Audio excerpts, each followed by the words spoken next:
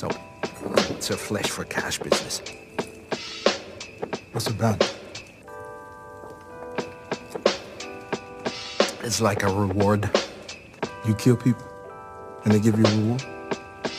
Ooh, certain people, you know. Bad people. Ah, better they are, bigger the reward.